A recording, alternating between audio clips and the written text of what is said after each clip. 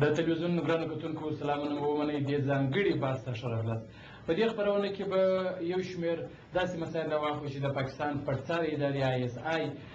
د افغان دیني عالمانو پر خوله باندې ورتپلي دي هغه په اعلامه په دې کوو په داخلو وختونو کې د پاکستان استخباراتي کړۍ یعنې آی اس آی خپل پولیتیکل ایجنسونه ته هدایت کړی دی چې تاسو ته نږدې خلک ملکان ملا امامان د مساجدو او با نفوذ دیني عالمان ته چې په داخل د افغانستان کې وي داسې تبلیغ وکړي چې د علماو داسې فتوا صادره کړې ده چې په افغانستان کې د اختر او د جمعې لمونځ جایز نه دی یا د جمعې لمونځ جایز نه دی دا ځکه چې افغانستان د خارجانو لخوا اشغال شوی دی دا یې ورته ویل دی چې دا تبلیغ ته دوام ورکړي چې خلک د دولت ته مخ واړوي پر دغه مسایلو باندې به د دیني عالمانو سره په ځانګړي بحث کې خبرې وکړو پیل بیا جمهوري صاحب ستاسو څخه وکړو دغه اوازه چې خپره شوې ده چې پاکستاني دیني عالمانو ولیا د پاکستان سرګري ادارې دغه ابلاغیه خپره کړې ده چې تاسو دغه تر خلکو تر ذهنتونو دا ورسوي چې په افغانستان کې ګواکې د جمعې لمونځ یا د اختر لمونځ جایز نه دلته وایي چې خارجان راغلي دي په خارجانو کې دلته مسلمانان هم راغلي دي او څلوېښت مملکتونو ځواکونه دلته راغلي دي که دې مسله یو نو بیا عربستان کې هم خارجان شته په نورو مملکتونو کې هم خارجان شته یوازې اسلامي ملک افغانستان نه دی که د دې په مقابل کې تاسو شرعي او اسلامي لاره روښانه أعوذ بالله من الشيطان الرجيم بسم الله الرحمن الرحيم وقال الله تبارك وتعالى في القرآن المجيد والفرقان الحميد اطیعوا الله و اطیعوا الرسول و اولو الامر منکم صدق الله العلی العظیم الله پاک جل جلاله و مؤمنانو ته خطاب کی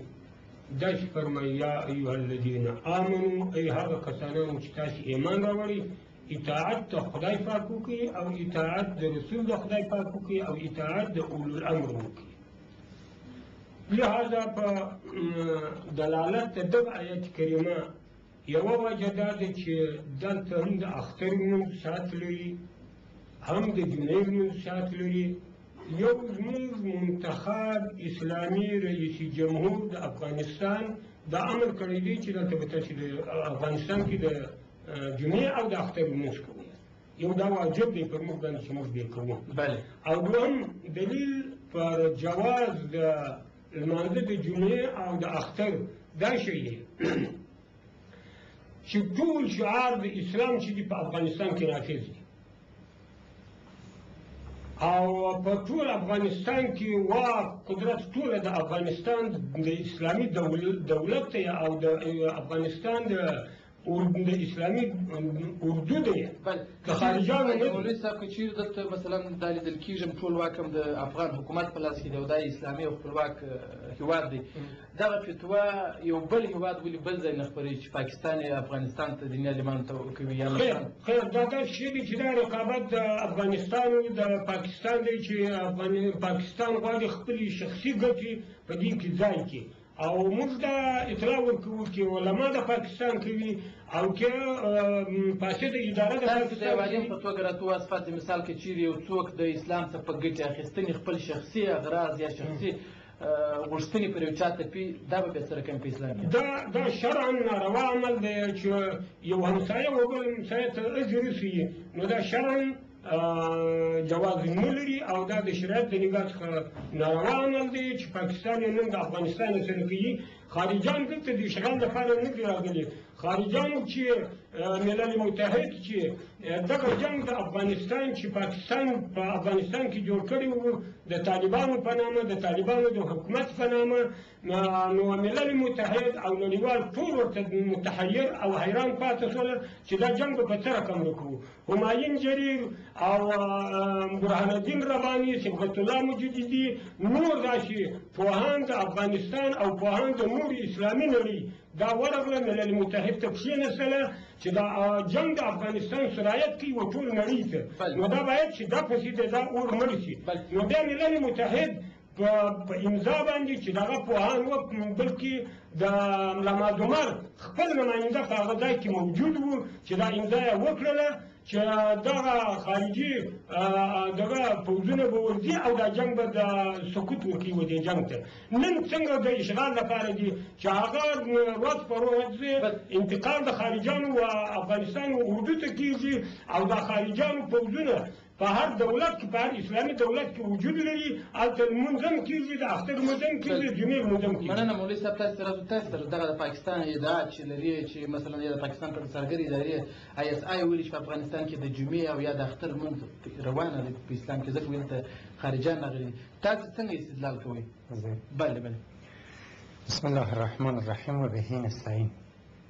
با اجازه آدم و بزرگان ضمن عرض سلام با شما و تمامی بینندگان ببینین یک اصطلاح هست مگه سیاست هست یا یک اصطلاح هست در جامعه سیاسیون یا در جامعه جامعه شناسان مگه سیاست یک بام و دو هوا ما بسیار تعجب میکنیم پاکستان علمای پاکستانی که از نظر سنی از نظر سن تاریخی در جمع نواسه های افغانستان افغانستان که سابقه پنج هزار ساله قدامت تاریخی دارد از نظر گرایش به اسلام در دوران خلیفه سوم و کماکان در دوران خلیفه دوم به اسلام گرایش پیدا کرد بله آنی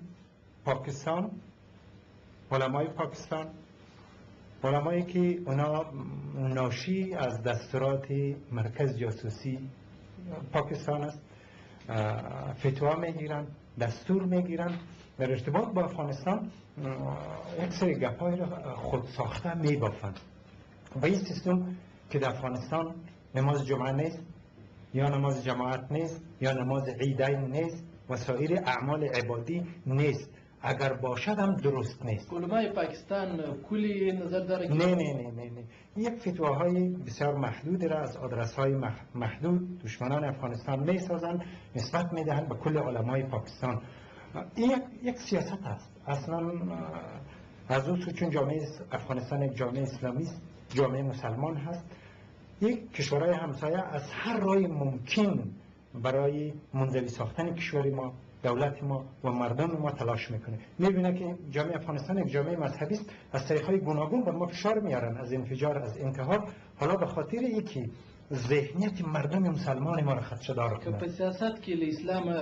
ګټه اخیستل کیږي یا فائدہ ځین تر لاسه کیږي او هغه هم سم لار نه دی دا چې لارې چې افغانستان کې د جمعې او د اختر مدروانه دی اسلام یا شریعت هغه دوی څوک چې دا وړاندې کوي او څوک چې دا کار کوي هغوی ته بیا په کومه سترګه ګوري میرسم عرض بکنی میخوای از این طریق استفاده کنه یک ذهنیت سو یک ذهنیت بد به مردم ما بدهد مردم ما یکم فاصله بده از دولت از حکومت از نظام کنونی از وضعیت فعلی که به وجود آمده به خاطر که ذهنیت مردم ما خراب بکنه از طریق دین و از طریق دیانت استفاده میکنه و حال که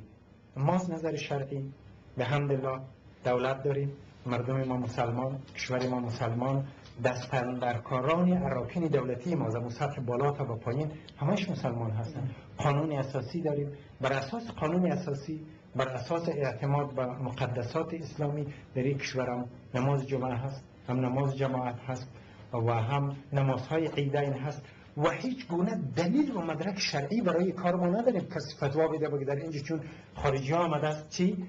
نماز جمعه صحیح نیست یا نماز عیدین نیست کذا خبری که خارجی عربستان که ببینید اگر احیانا معیار ای باشد دلیل ما ای باشد که در کشور خارجی آمده بر اساس یک سری موافقاتی بین المللی بر اساس یک سری ضرورت های بین المللی و توافق نامه های بین دول یک سری خارجی که در افغانستان آمده در کل کشورهای اسلامی است مگر آمریکایی و غرب در عربستان سعودی پایگاهی ندارد معاهدات استراتژیک با کشور امضا نکردند مثلا در مصر در, در تمام بلاد های اسلامی اینا روابط حسنه دارن پایگاه ها دارن روابط دارن رفت آمد ها دارن کنسولگری ها و سفارت و امثال هم دارن ما در اسلام ندیدیم که گفتم مراوده با دیگران نداشته باشید به غیر اسلامی نداشته باشین مخصوصا اینایی که معتقد به توحید هستن با اینا نداشته باشین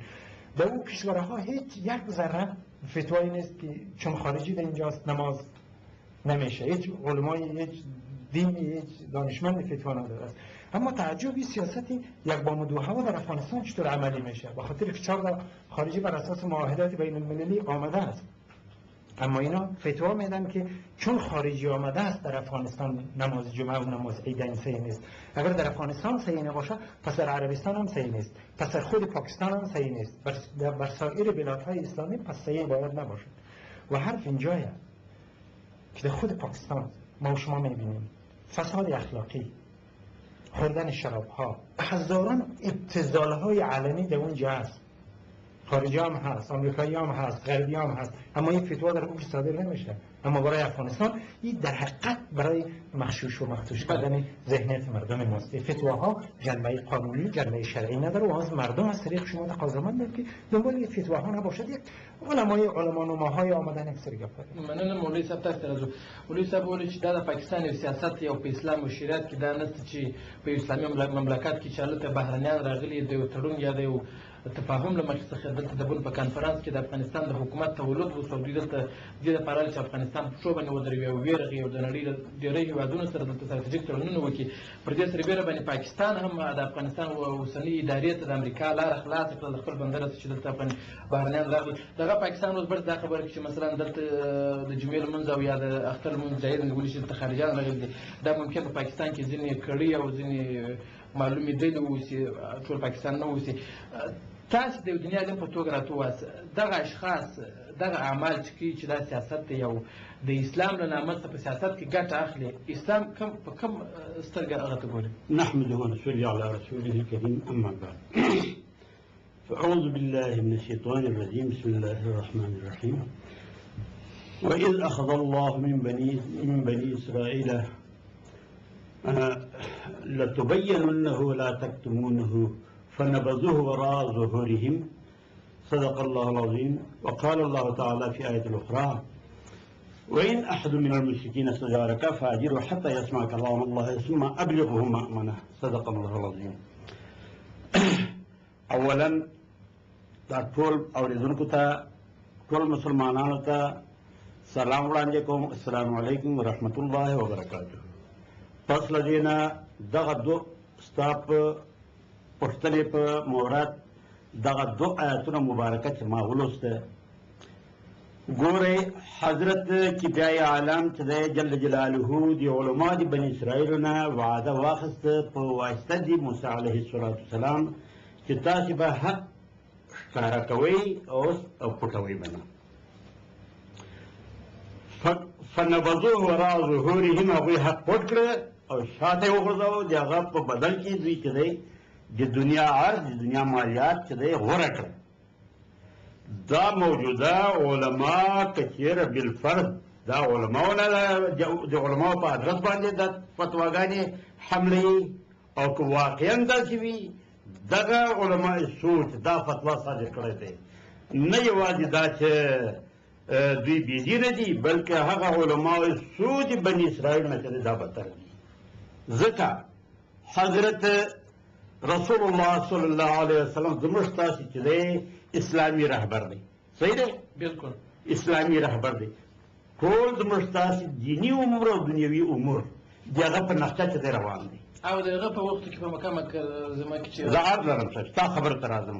د هغه په نقشه روان دی نو د هغه په نقشه کې دا دی چي يو ته د صلح د حديبيه کي چي د رسول الله صلی الله عليه وسلم کفار د مکې چي د مکه اشغال کړی و هغه وخت کي چي د رسول الله صلی الله عليه وسلم کفار د مشرکینو سره چي دی د داسي شرایطو سره صلح وکړه چي هغه بالکل صحابه کرام پې خوابدي وو حتی بعضې شرایط کې دا و چه ستا مسلمان کافر چه ماته راغی زه به تاله نظر کوم که زما کافر مسلمان چه تاته درغی هغه به ماته راکړي سره د دغه خبرې رسول اکرم صلی الله علیه وسلم دا خبره ومنل په صلح نامه کې دی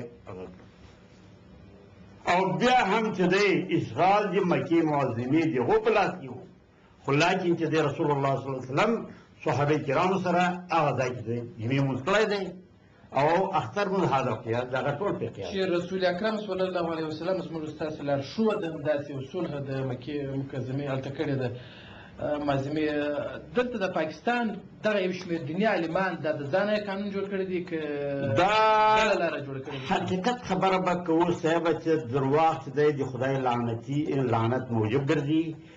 نو دغه فتوا که واقعي کوم عالم صادر کړی وي هغه به لعنتي وي هغه به چې د یهودي عالم نه هغه چې د دین یې خرڅ کړی دی په دنیا باندې هغه نه به هم بتر وي که بالفرض د عالم صادر او که چیرې د عالم په نامه باندې د آیسای د افغانستان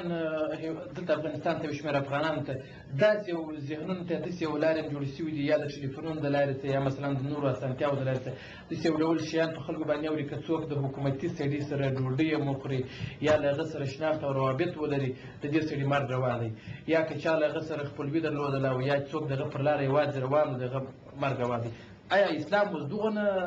سخت زړه دین ډېره مهرباني ډېر صحیح سوال دې وکړی د دغه ستا د سوال په رابطه باندې کوم آیت مبارکه چې ما وروستی ولوست هغه څه ته تاسو متوجه شئ الله جل جلاله خپل پیغمبر صلی الله علیه وسلم ته فرمایي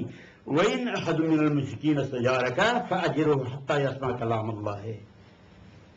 دا قرآن پاک دی د سورت توبې څخه دی تقریبا شپږم آیات دی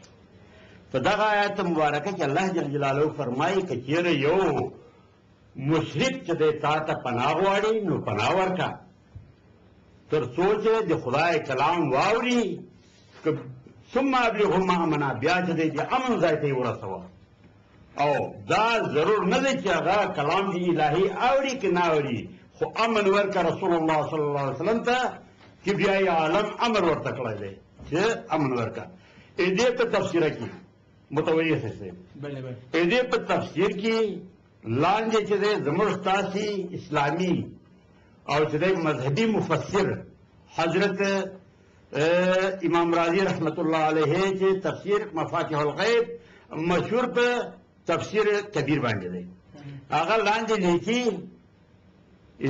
دغه آیت مبارکه لاندې لیکي که چیرې یو مسلمان ولګېد، یو کافر ته پناه ورکړه، هغه ګویا چې ټول مسلمانان چې دی دې ته پناه ورکړه، بیا څوک تجاوز نشي کولی، حتی دا خبره صریحا د هغه عبارت دی، د هغه مفسر عبارت دی، د تفسیر کبیر عبارت دی، وایي که چېرې یو لیونی یا چې دی غیر بالغ انسان کافر ته پناه ورکړي حراست ته په امن کې نو دې سړي ته چې دی ضرر او هیڅ مسلمان نشي رسولی اما دونه کولی شي د هغه تفسیر په هغه باندې رایه باندې دونه کولی شي چې د دغه لیوني په خوله باندې او د هغه غیر بالغ انسان په خوله یعنې ماشوم نو امن دی امن خو یې ورکړ خو لاکن چې دی بېرته به امانت چې دی ځای ته به یې رسوي آیا زموږ ستاسې رئیس دولت هغه لیوني نه بتر شو تر دې سره لیوني نه بتر دی او کوچنی چې نابالغ ماشوم دی هغه نه بتر دی نو زه دې ته حیران یم راغلو دې خبرې ته چې پاکستان صاحب چې دی پاکستان ګوره نو یو متل دی وایي غوا توره ده شیدې سپینې دي پاکستان ته وګوره چې د ټوله دنیا دې تباه شي خو زما پاکستان دې آباد شي دا ښکاره خبره ده دې کې هیڅ شک شبه نشته دی یو انسان چې رالیږل کېږي او او چې د جامعه اسلامي عبادتګاه کې چې د دننه فکر نه کوي چې دغه هر څوک چې دا کار کوي د پاکستان پر سر اداره کوي یا بل څوک وي دغه په لنګوټه کې ځان چاودونکي توکي ښوول په مسجد کې چاودنه ورکول پلان نړول سړکونه خرابول دغه ډلې چپلې د اسلام د خرابېدو نیت نه لري اسلام د خرابیدو نیت بالکل لري زوی دوی خپل شخصي غرض نظر کې نیسي نور چې دی د اسلام او د بېدیني او د دینداري په غم کې نه دي صرف دوی ته چې څه انجکشن پیچکاري شوی دی هغه پې باندې تاثیر کړی دی او څه هدایات څه رهنمایي چې دوی ته هغه استخباراتو کوي نه کیږي هغه دوی سر طرف مننه مولوي صاحب هم تاسو ته راګرځو راځو تاسو ته مولوي صاحب ول هر څوک چې دغه فتوا صادروي هغه اسلام نه دی هغه يهود دي اسرائیل دي که داسې فتوا مثلا صادري شي افغانستان کې د جمعې یا د اختر لمونځ نه ځکه د اسلامي مملکت دی او پر دې باندې نو مسلمان بیا دا فتوا نه صادرولی دلته ګواکې لمونځ تاسو څنګه استدلال کوئ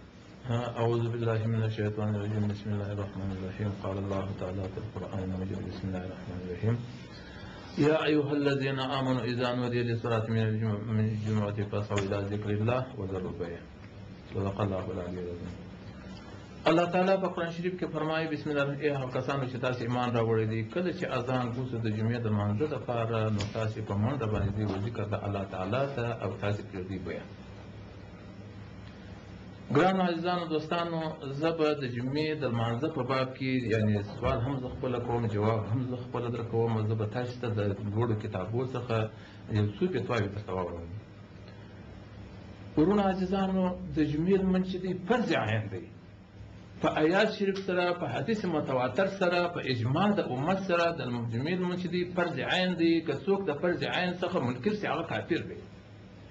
او دا جمعه مبارکه ځکه جمعه مبارکه ده سر په خلاص شو چې په دغه چې الله تعالی ځکه و اسمانونه پیدا کړه په شپږ ورځې کې شپږم ورځ د ورځ د جمعې و چې ټول کائنات ختم شو ورځ د جمعې باندې راغله د جمعې پر ورځ باندې تکمیل ته ورسېده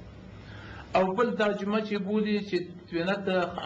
سورت آدم علیه السلام جوړ شوی وو یعنی خاور را جمع شوی په دغه ورځ باندې او ورځ د قیامت به هم په دغه ورځ باندې نورون عزیزان ورونو د جمعې دونه لوی فرض دی او بل دا خبره ده ورونو عزیزان صحابه مبارکانو په مدینه شریفه کې یعنی چې رسول الله مبارک مبارک هجرت هم نه وکړی هم دوی د جمعې لمونځ کوي هم رونه عزیزانو دوی هلته د اختر لمونځ کوي کومه معاهده چې رسول الله مبارک د کفارو سره وکړله یعنی حج هم کوي د اختر لمونځ هم کېدی او د جمعې لمونځ هم کېدی نو څنګه په افغانستان کښې کېدلې شي چې د جمعې لمونځ ونه شي یا د اختر لمونځ ونه شي چې هغو صحابه مبارکانو په هغو حالاتو کښې د جمعې لمونځ کوئ او په افغانستان کښې دې ونه شي چې دا دارالحرب هم نه دی ځکه اسلامي مملکت دی دا نه دی چې یو څو امریکایان راغلي دي یا څو انګریزان راغلي دي بس دارالحرب وګرځېدی په دې باندې دارالحرب نه شي ګرځېدلی او نه هم ګرځي ورونو عزیزانو او بل ورونو عزیزانو دا خبره درته کوم چي همدارنګه په شرح د ابو داود چي مسما ده په وجه مجهود سره په هغي کي فرمايي چي رسول صاحب مبارک په ژوند کي صحابه مبارکان په بحرين کي يو ځای وو چي حجواسي نومېده په هغه کي يې د جمعې لمونځ کاوه او حال دا چي دا ځای د رسول صاحب مبارک تر وفات وروسته د حضرت ابوبکر صدیق رضی الله عنه مبارک په دور خلافت کې فتح سو نو تاسو خپل اوس فکر ورته وکړئ چې هلته د جمعې لمونځ کېدی او په افغانستان کې د جمعې لمونځ ونسي شکر دی اذانګونه کېږي شکر دی مسلمانان دي ټول احکام د دین چې دي یعنی جاجادي دي نکاح وو بل شی بل شی ژوند وو مرګ وو هر څه د اسلام په لار دی د حضرت محمد مصطفی صلی الله علیه وسلم مبارک په لار باندې دی او دلته د لمونځ ونسي دا څنګه کار دی او بل ورونه عزیزانو ته مهرباني زه فقط یو دوه خبره بل سوال یې څوک کوي ایا زموږ ملک په موجوده حکومت کې دارالحرب دی او که دارالاسلام دی او ایا په موجوده دور او حالاتو کې د جمعې لمونځ فرض دی او که نه دی جواب یې وروڼه عزیزان دا دی زموږ ملک په موجوده وخت کې الحمدلله دارالاسلام دی ځکه چې د اسلام احکام په کې جاري کېږي، که څه د کفارو تر تسلط لاندې دی، لېکن په دغه دارالحرب ته نه ورته ویل کېږي او د جمعې لمونځ پکښې کېږي په شرایطو موجود شي، لکه پخوا چې فرض شوی و، همدغه رنګه اوس هم فرض دی، دغه مسئله د رد المختار مصنف رحمة الله صاحب فرمایي. بله اوس تاسو فکر وکړئ، افغان حکومت د ټولې نړۍ سره ستراتیژیکو تړونونو ته اړتیا لري، ولې چې دا هېواد په پښو ودرېږي او د څلوېښت کالو جګړو ځپلی دی، او دا خبره به هم تاسو بیا رڼا پر واچوي چې اسلام نو ګواکې سوله نه غواړي او هغه ښاد جنګ غواړي چې جګړه دی او چاودنې دي او وژنې دي انسانان دي وژل کېږي نو افغانستان بالاخره څه وکړي که له امریکا سره ستراتیژیک تړون نه کړي له انګلستان سره نه کړي له بل هېواد سره نه کړي له خپلو ګاونډیانو سره نه کړي په دې تازه شپو کې د پاکستان سره هم د یو تړون لاسلیک کېږي د اسلام له نظره څخه یو اسلامي مملکت اړتیا نه لري چې د یو کڅن کفر اوس یو هیواد په دې نړۍ کې ژوند کوي او سختي تړون لاسلیک کړي بالکل کولی شي کولای شي یعنی حضرت محمد مصطفی صلی الله علیه وسلم بارک چې کله د کفارو سره معاهده وکړله یعنی صلح صلح یې ورسره وکړله او مقصد هغه سره وویل چې موږ څه به دغه کوو مقصد دغه به نه کوو نو زموږ څه چې په افغانستان کې چې د که پاکستان سره یي مقصد که یو د بل دولت سره یي نو باید داسې یو صلح امیزه لاره باید اختیار کړي یا صلح ورسره وکړي یا بل شی ورسره وکړي چې ورونو راسو موږ څه چې ټول مسلمانان یو باید موږ څه چې ټول سره کښینو یعنی دا دېرش کاله جګړې زموږ څه چې افغانستان ټوټې ټوټې کړي زموږ څه چې افغانستان یې در بدره کړي یعنی که موږ څه چې اتفاق سره وکړو یعنی په اتفاق کې ان شاء الله تعالی دا دین د اسلام هم خدای پاک په اتفاق سره کامیابوي سره په خلاص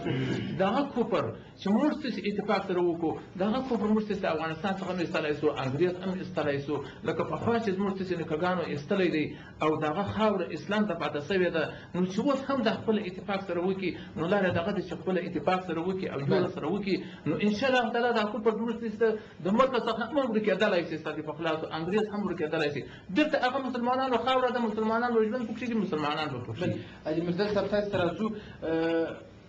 د اسلام دین دغه لاره ده چې په مسجد کې ځان ته چاودنه ورکول یا د لوی لارې پر سر باندې د عام خلکو موټرونو یا نورو وسایلو ته چاودنه ایښول او یا په ګڼې ګوڼې په ځایونو کې همدا ډول دغه عمل ترسره کول تاسې فکر نه کوئ چې که څوک د اسلام لاره ګټي او یو څوک غواړي چې مثلا له دې لارې اسلام پیاوړی کړي او اسلام ته وده ورکړي، فکر نه کوئ چې دا خپل اسلام د نورو تر سترګو بد معرفي کوي، ځکه په اسلام کې مخکې داسې اعمال نه دي ترسره شوي، دا تازه پېښې موږ داسې ګورو، د اسلام د بریالیتوب او د اسلام د پرمخود یا د غوړونې لپاره کومه بله لاره نشته؟ بسم الله الرحمن الرحیم وعام علماو چې د افغانستان او د پاکستان زه دا اطلاع ورکوم دوی دې داسې یوه فتوا صادره کړي چې د یهودو او نصاراو کلیه سېځل او یا ورانول شرعا زموږ په مذهب د امام ابي حنیفه رحمت الله تعالی علیه په مذهب روا دي او دا نشي ثابتولی د نړۍ علما یې نشي عالم اسلام علما یې نشي ثابتولی وایي په صورت د دې که داسې وکړي چې د یهودو نصاراوو د کلیساوو بې عزتي وکړي نو شاید چې زموږ د جماعتونو بې عزتي دې وشي نو لهذا د دوی د کلیساو بې عزتي ناروا ده په وخت کې چې د یهودو نصاراو د کلیسا ورانول او بې عزتي او بې حرمتي ناروا دي زموږ په مذهب یا زموږ د اهل سنت والجماعت یا د اهل تشیع دا مساجد شرایط توپیر کوي که څه رقم خلیل الله د دوی د کلیسا د ورانونې یو دغه کړو داسې یو بیان په روایت کې راغلی تاسو خپل هم خبر یاست اوس شرایط توپیر کوي یو که څنګه مسله ده او بل د اسلام د بریالیتوب یا د اسلام پرمختګ لپاره پر دغه لار تاسو څو رڼا ورکوي د اسلام د بریالیتوب لپاره چې رسول مقبول صلی الله علیه وسلم یو صحابي ورته ویل آیا غواړي چې زه ورګډ شم په دښمن باندې نو خو اسلام یې بریالی کاوه کوم وخت چې دی ورګډ شو دی مړ شو چې مړ شو رسول مقبول صلی الله علیه وسلم ورته دا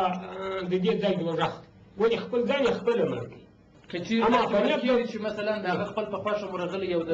کفارو په منځ کې د انسان د پرمختګ لپاره دا دو- دوزخ رسول اکرم صلی الله علیه وسلم خپله یاد کړی دی نو دغه اوسني انسانان چې په ګڼې ګونې فضایونو کې حتی بیخي حکومتي سړی یې هم نه ځان ته چاودنه ورکوي او ځان وژني نو دا بیا سره کوم دا د عالم اسلام ټول علماو ته زموږ دا اطلاع ده زموږ د هلمند علماو دا اطلاع ده چه هر عالم چه په افغانستان کی په پاکستان کی په مصر کی دغه ثابت کړله چه دمرګی خودکوشی دی شرعا روا ده رادی چه ماته دی خبر راکی زما سره دی کینی پر میز باندی دی و قرآن کریم دی را سره چی دی د قران کریم د نگاه څخه نه د پاکستان د پاچي د ادارې د فتواو څخه چې علما د افغانستان برناموي چې علما د افغانستان فتوا صادره کړي چې په افغانستان کې لمونځ نشته دا بالکل دروغ او پروپاګند دی دغه مولوی صاحب دغه ځان د وژنې لاره څنګه ده دا د عین هند دغه چې فتواوې سپکاوي د دین د الله پاک دی دغه د ځان وژنې لاره اوس په قرآن په قرآن کې راغلي چې څوک ځان مړ کړي الله پاک جل جلاله امر والو په قرآن کریم په دغه آیات کریمه کې فرمایي بسم الله الرحمن الرحیم ولا تلقوا بأیدیکم الی التهلکه وای ای زما بندګانو ای زما بندګانو با خبر اوسئ چې تاسو ځان ودای ته د مرګ مه مخامخ کوئ ولې دا داسې پوښتنه وکړه و دا شرعا ولې د ځانوژنه ناروا ده داسې سوال راته وکړه ته دا سوال راته وکړه چې دا شرعا دا ځانوژنه ولې ناروا ده ولې ناروا ده په نسبت د دې ناروا ده چې دغه سړی چې ځان وژني دا مالک د خپل نفس نه دی